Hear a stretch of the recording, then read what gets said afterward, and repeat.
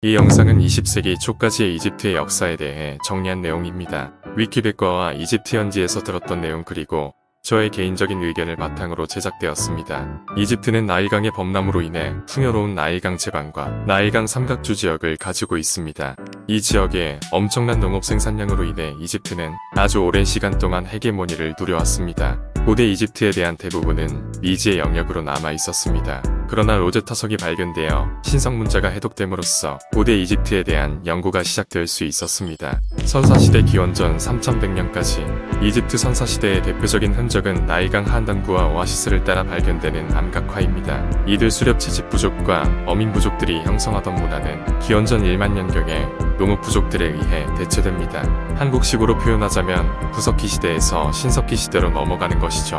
한국 고고학에서는 기원전 6천년 전에 신석기 문화가 시작된다고 봅니다. 암튼 이들 농업 부족은 곡물을 빻아 가루로 만들어 소비하는 문화가 대표적입니다. 그러다가 기원전 6천년경에 아프리카 수명 기간이 종말을 맞이하고 사하라 사막이 형성됩니다. 신석기 시대의 시작은 우리와 같네요. 이 지방에서 거주하던 부족들은 나일 강변에 이주하여 정착하게 되는데 이로써 농업경제 체제가 자리잡고 중앙집권된 사회가 형성되는 발판이 만들어졌다고 합니다. 이집트에 가면 이 학설이 이해가 되는데요. 나일강 본류와 지류 주변으로는 초원이 펼쳐져 있지만 조금만 밖으로 나가면 사막이더라고요. 이집트처럼 더운 나라에서 저 같아도 사막보다는 강 주변을 선택하겠습니다. 암튼 이 즈음에 나일강 전역에서 신석기 시대가 시작됩니다. 왕조가 등장하기 이전 시기인 이 즈음의 상하, 이집트의 문화가 서로 다른 양상으로 발전하게 되는데요. 바다리 문화와 그 뒤를 이은 나카다 문화가 고대 이집트의 전신으로 이해된다고 합니다. 바다리 문화는 BC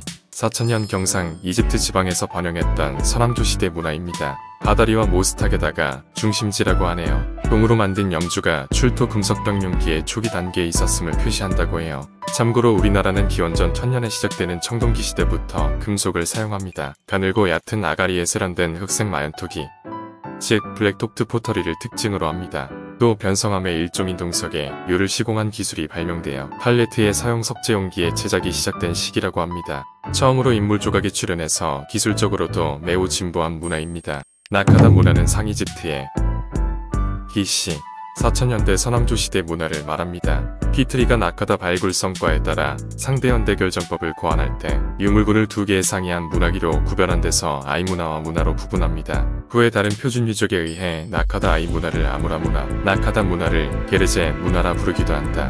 후에 상이집트가 되는 남부 이집트에는 메리무다 문화가 있었는데 바다리 문화보다 700여 년 앞선 것으로 이해된다고 해요. 남부 이집트에서 발생한 문화는 2000년간 상부 이집트 문화와 공존합니다. 신석 문자는 고대 이집트 이전 시기인 나카다 3기에 만들어진 항아리에서 처음 발견되는데 그 연대는 기원전 3200년으로 추정됩니다.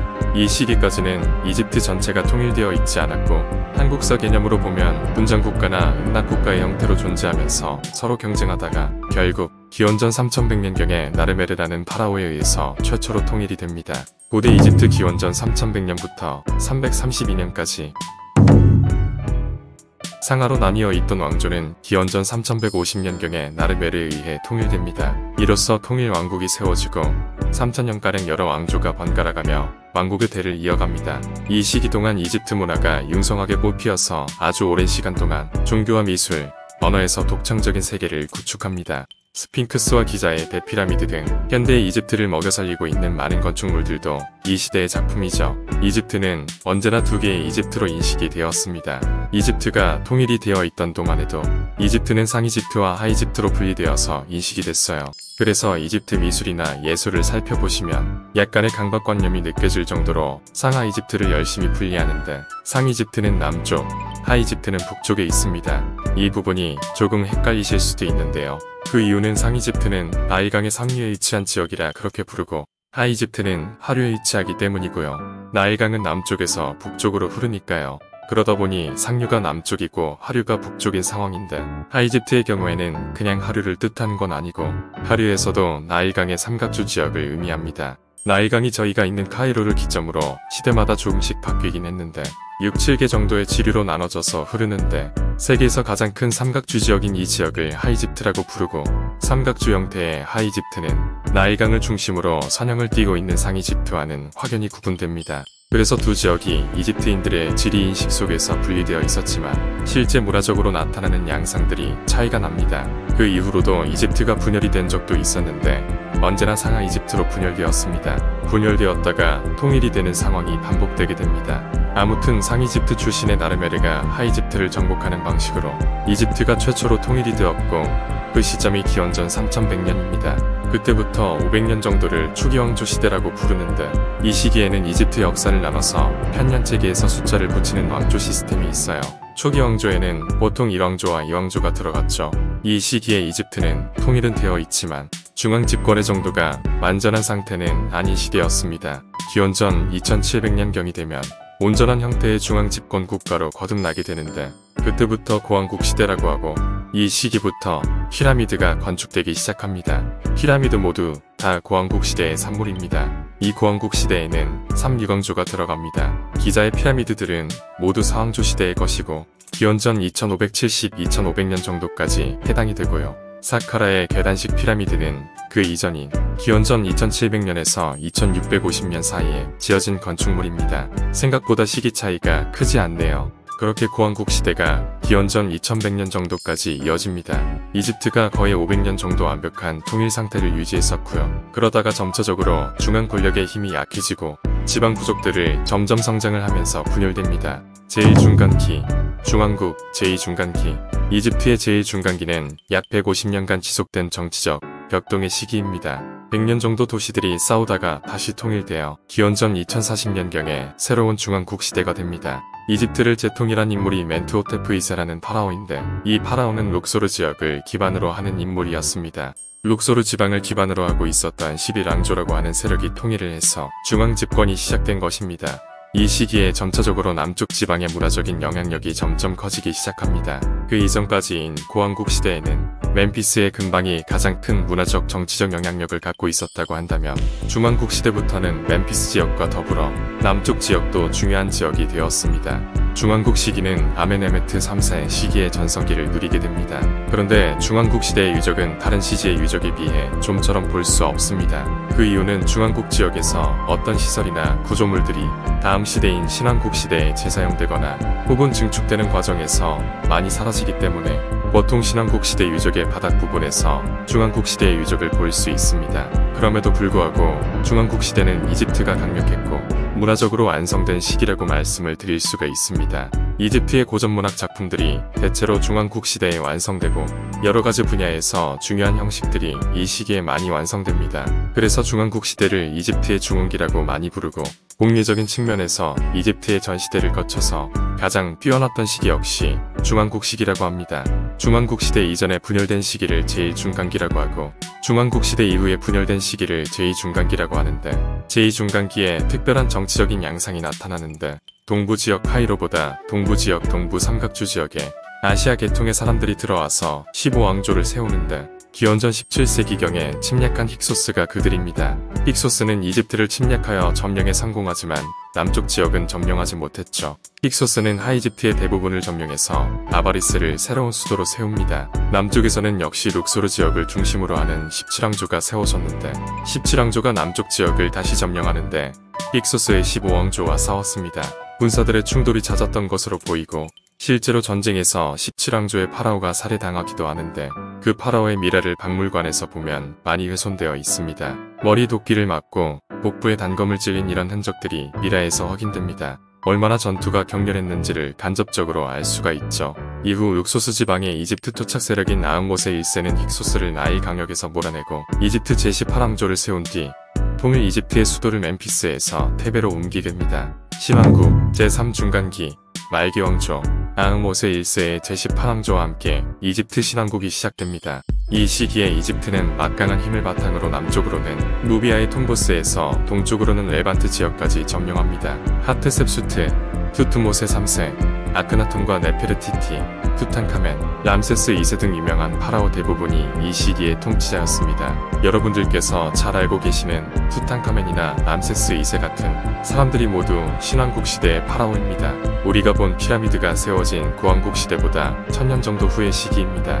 기원전 1550, 1100년 정도의 시대이니까 피라미드와는 1000, 1500년 정도 차이가 나는 시대입니다. 상이집트 지역인 남쪽에서 보게 되는 주요 유적들은 거의 대부분 다 신왕국 시대의 유적들입니다. 예를 들자면 아스원에서 보게 되는 아부신벨 신전이라던가 룩소르에서 보게 되는 카르낙 신전이라던가 왕들의 계곡 등이 모두 신왕국 시대의 유적입니다. 또 이 시기에 아톤을 중심으로 처음으로 일신숭배 사상이 세워집니다. 그러나 다른 신들의 존재를 인정한다는 점에서 단일 신교로 간주되지는 않습니다. 또한 이 시기에 국제적으로 다른 국가들과 활발히 교류하기 시작합니다. 히타이트와도 국경을 맞대게 됩니다. 그러나 바다 민족의 침략과 테베의 아문 대사재단 등의 내용으로 인해 다시 상이집트와 하이집트 사이의 결속이 약해집니다. 하이집트는 리비아계에 상이집트는 쿠시 왕국의 침략과 정치적 영향을 받습니다. 이 시기를 제3중간기라고 하고 제3중간기는 300년 정도 지속이 되는데 이 제3중간기를 끝내고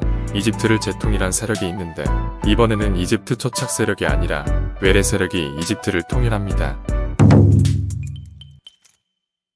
이집트 남쪽의 아스원 이남으로 펼쳐져 있는 지역을 누비아라고 하는데 누비아는 원래 이집트가 아니거든요. 이집트 사람들과는 인종적으로 차이가 있는 사람들이 살던 공간이었습니다. 그런데 이 지역은 귀중한 여러 자원들이 많이 나는 지역이다 보니까 이집트가 굉장히 이른 시기부터 그러니까 초기 왕조 시대 때부터 지속적으로 착취하고 언제나 자신들의 영향력 하에 두기 위해서 관리하던 지역 이집트의 속국이었다라고 할 수 있는 지역인데 기원전 700년경이 되면 반대로 누비아 출신들이 이집트를 정복하는 상황이 발생하게 되고 그래서 그때 이집트를 다시 재통이라는 왕조가 25왕조입니다. 25왕조의 파라오들은 모두가 누비아 사람들이고요. 누비아인들은 일반적인 의미의 흑인들이기 때문에 25왕조의 파라오들은 모두 흑인들이었다라고 말해도 틀린 얘기는 아닙니다. 그래서 이 파라오들을 검은 파라오라고 부르기도 하고요. 여하튼 이집트가 다시 통일이 되었는데 100년 정도 이집트를 통치합니다.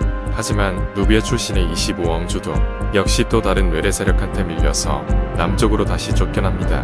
누비아 세력을 쫓아낸 세력이 메소포타미아를 통일하고 제국을 세운 아시리아였습니다.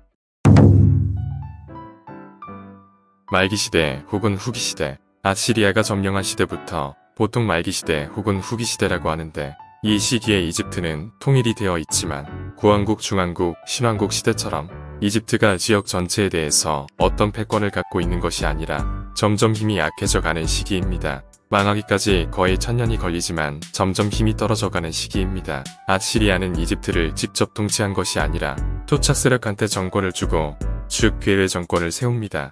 26왕조인데 26왕조가 후에 아시리아로부터 독립을 합니다. 1차 아케메네스 점령기 기원전 6세기에는 페르시아 아케메네스 제국이 이집트를 정벌합니다. 이집트 제27왕조 전체가 아케메네스의 지배를 받지만 페투바스티스 3세대의 봉기를 일으켜 페르시아 제국의 지배에서 벗어납니다. 이후 제30왕조까지 이집트는 독립국의 지위를 유지하지만 기원전 343년 아르타크세르크세스 3세 침공 이후 넥타네보 2세가 패전하여 다시 아케메네스 제국의 지배하에 들어갑니다. 2차 아케메네스 점령기 패전한 이집트 제31왕조는 기원전 332년까지 페르시아의 속주가 됩니다. 페르시아인이 파라오가 되었죠. 실제로 2017년에는 미라 90구의 유전체를 분석한 결과 고대에서 중세까지 근동 지역에 거주했던 사람들의 유전체와 상당히 유사하고 사하라 이남 아프리카의 흔적은 전혀 없었습니다.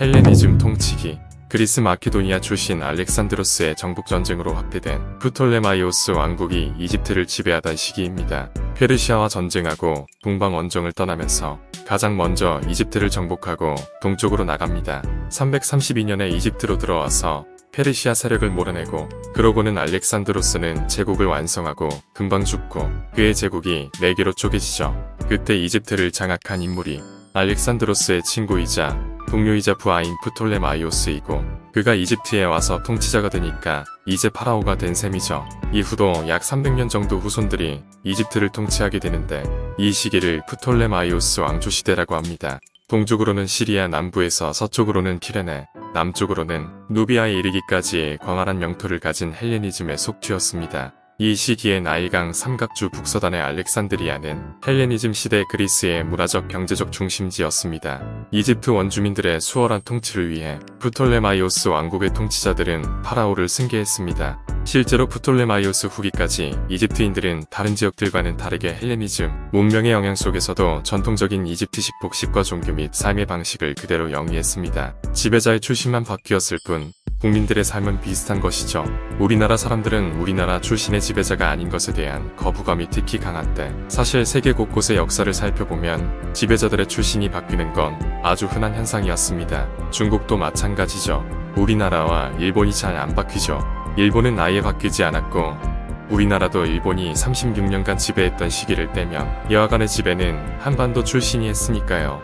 물론 고대 국가 이전의 한반도는 그렇지 않았을 가능성도 많지요. 프톨레마이오스 왕조의 마지막 통치자는 클레오파트라로 잘 알려진 클레오파트라 7세 필로파토르입니다. 클레오파트라는 정치적으로 뛰어난 사람이었고 그렇기 때문에 이집트를 다시 한번 부흥시키려고 기원전 50년경에 파라오에 오르는데 그 당시 지중해 세계에서 최강자로 자리매김하던 로마와 파워게임을 펼칩니다. 그녀는 여러 권력자들과 여러 관계를 통해서 이집트를 부흥시키고자 여러 시도를 하지만 결국 실패로 끝나게 되고 궁극적으로는 아키움의 전에서 클레오파트라와 로마의 망명자였던 안토니우스의 연합 함대가 패배를 하면서 클레오파트라도 죽고 이집트도 로마 제국의 속주로 편입이 됩니다. 로마 통치기 이 시점이 기원전 30년이며 공식적으로 이집트는 여기서 끝이 납니다.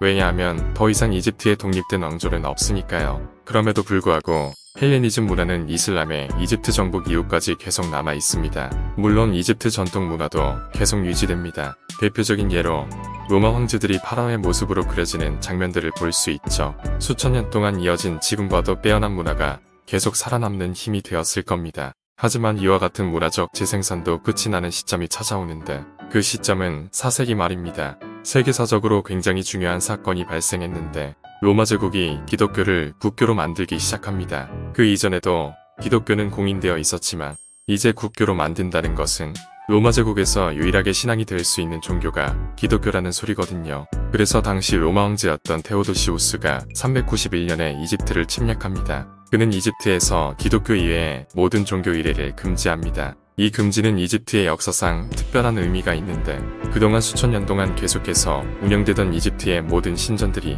더 이상 의뢰를 올릴 수 없다는 것을 의미하고 이집트에서의 신전은 단순히 종교적인 공간이 아니라 정치적으로 행정적으로 문화적으로 중심 공간이었는데 이 신전이 더 이상 운영될 수가 없었기 때문에 이집트 문화는 다시 재생산할 수 있는 원동력을 완전히 잃어버리게 된 것이죠. 그러다 보니까 5세기 전반이 넘어가면서부터는 고대 이집트 문화가 잘 나타나지 않게 됩니다. 문화적으로 이 시점 4세기 말 5세기 초반이 이집트 문명의 완벽한 종말의 시기입니다. 이집트 지역은 로마의 곡창지대가 되어 제국 전체의 곡물, 아마, 파피루스, 유리, 기타 공예품들을 공급합니다. 기원전 3500년 이전부터 나일강유역의 생산량은 저 거대한 피라미드를 조성할 만큼의 엄청난 경제력을 제공해 주었죠. 알렉산드리아는 로마의 지배하에서도 교역의 중심지로 계속 남아있으며 일부 기록에 의하면 로마에서 가장 중요한 도시였다고도 전해집니다. 이집트는 인도나 에티오피아와 국제적 교역의 중계지도 되었습니다.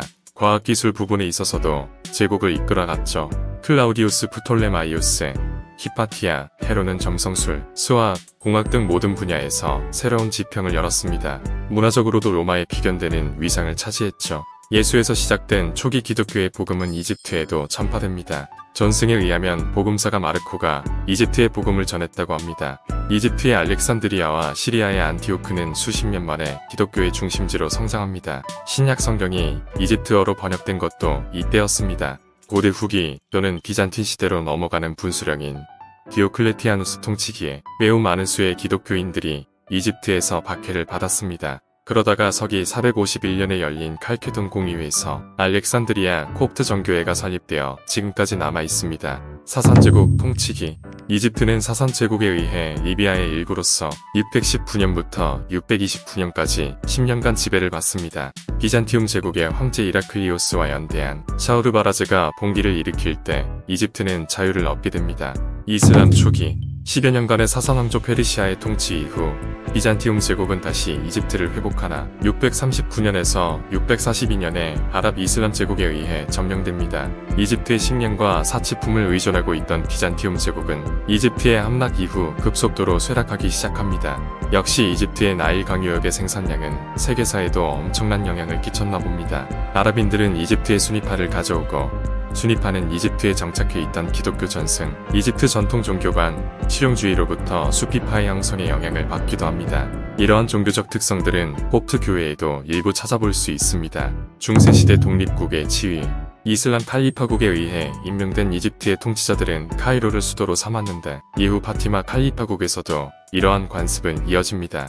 쿠르드족의 아유브 술탄국의 멸망 이후 서기 1250년부터 맘루크, 즉 티르크족과 체르케스인의 통치를 받습니다. 13세기 말에 베는 홍해, 인도 말릴 제도, 동인도 제도와도 교역을 시작합니다. 그리스어 콥트계 언어와 문화는 아랍 문화의 융성함 속에서 점차 사라져갑니다. 14세기 중반에는 흑사병이 이집트 인구의 40%를 앗아갑니다.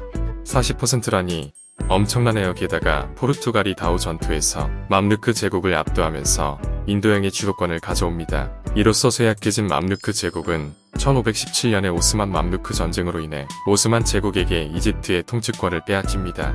오스만 통치기 15세기 이후 오스만은 이집트를 침공하면서 간접적으로나 직접적으로 이집트의 체계를 붕괴시킵니다. 특히 이집트는 오스만에 대항하기 위해 시민사회와 경제제도를 희생하면서까지 방위군을 소집합니다. 이처럼 약화된 경제는 흑사병과 어우러져 국력을 폭락시키는데 큰 원인이 됩니다. 1687년부터 1731년까지 6번의 기근을 겪은 데 이어 1784년의 기근은 단번에 전체 인구의 6을 앗아갑니다. 이후 프랑스의 나폴레옹 보나파르트는 1798년에 이집트 시리아 원정을 시행합니다. 이때 로제 타석이 발견되면서 이집트학이 출범하는 계기가 됩니다. 그러나 나폴레옹과 프랑스 근동군은 결과적으로는 나일 해전에서 패배함으로써 이집트의 지배력을 잃게 됩니다.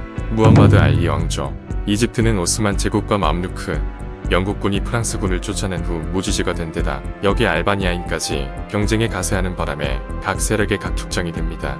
비옥한 이 지역을 가지기 위한 피바람이 부네요. 그리고 결국 알바니아군의 지도자인 무함마드 알리가 1805년에 패권을 잡고 이스탄불의 술탄으로부터 공식적으로 부왕의 자규를 받는데 성공합니다. 이때 부왕이라는 자기는 이면적으로는 술탄의 신하라는 의미를 담고 있지만 실제로는 오스만이 이집트에서의 통치권을 포기하고 무함마드 알리에게 넘겨준 것에 가깝습니다. 무함마드 알리는 왕조를 세워 1952년에 혁명을 일으키기 전까지 계속 통치합니다. 그러나 1882년 이후로 이집트 왕조는 사실상 영국의 식민지와 가까운 상태를 유지합니다. 알리는 1820년부터 1824년까지 수단을 1833년에는 시리아를 점령하고 아라비아 반도와 아나톨리아를 점진적으로 점령해 나갑니다. 유럽 열강들은 알리가 결국 오스만 제국을 무너뜨리지는 않을까 하는 우려를 품고 점령지들을 오스만 왕조에 귀속시킬 것을 1841년에 요청하였으나 알리는 수단과 시리아를 계속 왕국의 영토로 유지합니다. 알리의 정복 사업은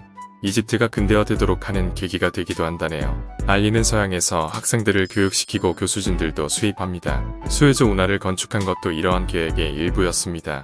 또 시민복지에도 상당한 향상을 가져온다고 합니다. 1820년에는 육지면을 가져와 시작한 산업이 부흥하여 이집트산 육지면의 품질이 세계적인 인정을 받게 됩니다. 이 시기에 이집트의 농업은 황금 작물에 대한 단작의 형태로 변모하게 되었습니다. 이로 인해 이집트의 시장은 전 세계로 뻗어나가게 되고 토지 소유의 형태도 지주 중심으로 바뀌게 됩니다. 대영제국 포우령 1863년에 이스마일 파샤가 즉위합니다. 이스마일과 선왕인 사이드는 야망이 높은 사람이었으며 프랑스와 함께 수에즈 운하를 건설하는 등 이집트의 개발을 위해 많은 사업을 펼쳤습니다. 그러나 개발에 막대한 비용을 소모하게 되면서 이집트는 유럽은행에 감당할 수 없는 양의 빚을 지게 되었고 시민들의 불만도 고조되었습니다.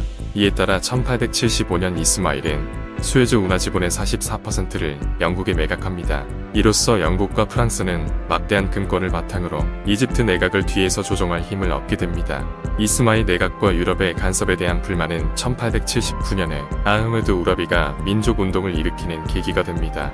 우라비는 1882년에 민족주의 내각의 순회가 됩니다. 그러나 자신들의 지배력이 줄어들 것을 경계한 영국과 프랑스는 알렉산드리아에 한포를 퍼붓고 이집트군을 테레일 케비르 전투에서 격파시키고 내각을 해산시킨 뒤 이스마일의 아들인 퓨픽 파샤 를 권좌에 올립니다. 이로써 이집트는 사실상 영국의 보호국 신세가 되며 1914년에는 공식적으로 영국의 보호령이 됩니다. 자 이제 역사를 살펴봤으니 본격적으로 이집트의 화려한 문화 유산을 살펴볼 준비가 되셨지요.